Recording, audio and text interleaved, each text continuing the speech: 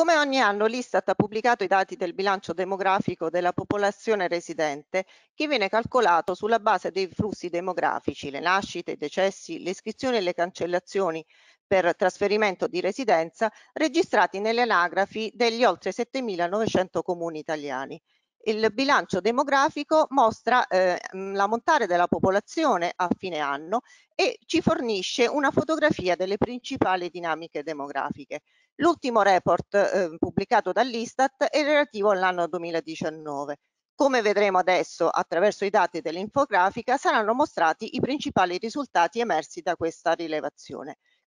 Al 31 dicembre 2019 la popolazione residente in Italia ammonta a 60.245.000 residenti. Di questi l'8,8% è cittadino straniero.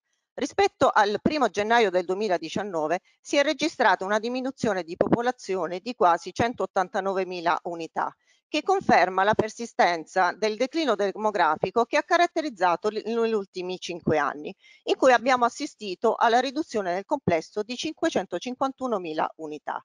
Si può affermare in un certo senso che la popolazione ha da tempo perso la sua capacità di crescita per effetto della dinamica naturale, quella dovuta alla sostituzione di chi muore con chi nasce. Infatti nel 2019 si registra un nuovo record negativo di nascite che non si era mai raggiunto dall'Unità d'Italia i 420.170 bambini iscritti in anagrafe non riescono a compensare gli oltre 630.000 decessi, determinando così un deficit dovuto alle componenti naturali di 214.000 unità.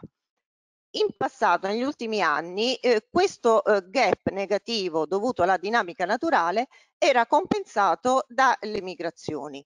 L'influenza positiva esercitata sul bilancio della popolazione dal fenomeno migratorio tuttavia negli ultimi anni si sta riducendo.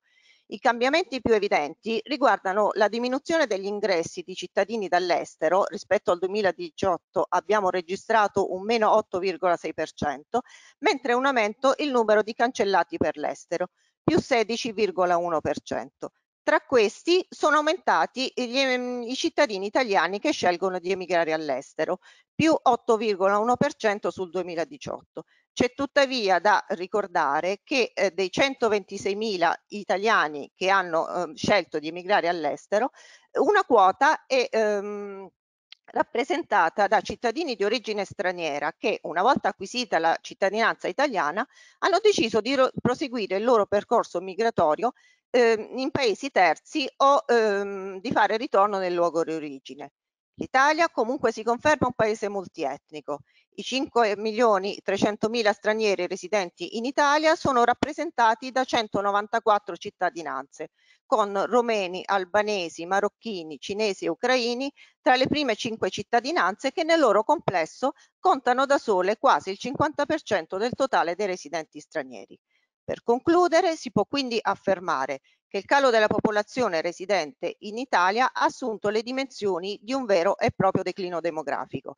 Sono infatti cinque anni consecutivi che la popolazione residente diminuisce, eh, raggiungendo un ammontare complessivo di 551.000 uni unità. Le migrazioni non sono più in grado di compensare il surplus di decessi rispetto alle nascite.